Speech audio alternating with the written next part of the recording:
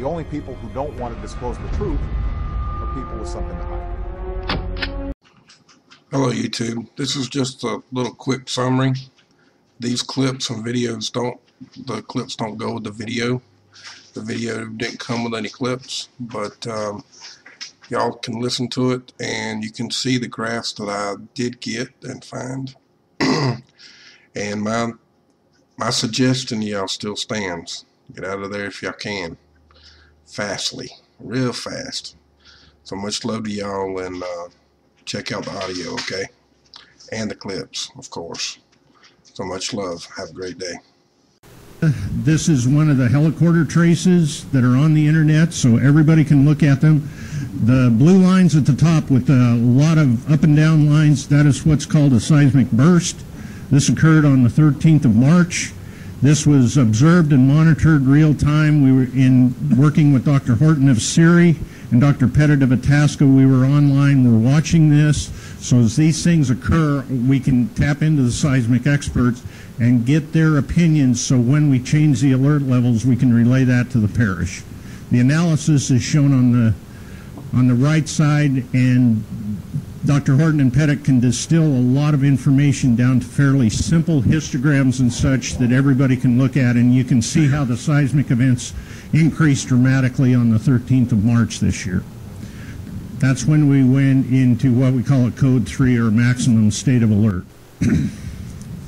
uh, thank you, Secretary Chustz and Mr. Chairman. Today I'm going to give a brief summary of the Bayou Corne sinkhole, the gas in the Mississippi River alluvial aquifer, and the stability of the western side of the salt dome, including Oxy 1.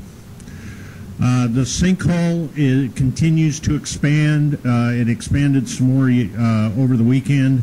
This is the last uh, survey we had. It covers 12 acres of sinkhole with a settlement area of approximately 20 acres. And you can see how it aligns along the edge of the salt. The, the red line is the edge of the salt, and you can see it's expanding in the northeast southwest direction, subparallel to the edge of the salt. Next. Uh, Sunday's gas event uh, showed settlement and gas bubbles on the western side of the sinkhole.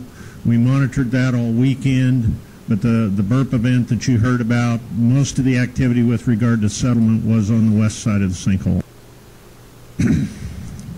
Uh, thank you, Secretary Chustz and Mr. Chairman. Today I'm going to give a brief summary of the Bayou Corne sinkhole, the gas in the Mississippi River alluvial aquifer, and the stability of the western side of the salt dome, including Oxy 1. Uh, the sinkhole continues to expand. Uh, it expanded some more uh, over the weekend. This is the last uh, survey we had. It covers 12 acres of sinkhole with a settlement area of approximately 20 acres. And you can see how it aligns along the edge of the salt. The, the red line is the edge of the salt, and you can see it's expanding in the northeast southwest direction, subparallel to the edge of the salt. Next. Uh, Sunday's gas event uh, showed settlement and gas bubbles on the western side of the sinkhole. We monitored that all weekend. But the, the burp event that you heard about, most of the activity with regard to settlement was on the west side of the sinkhole.